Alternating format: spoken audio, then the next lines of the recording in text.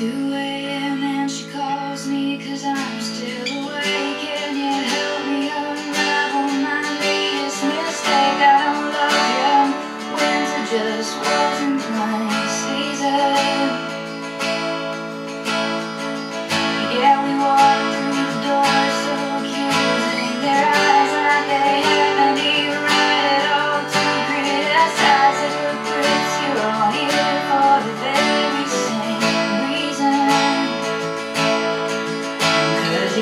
down the track.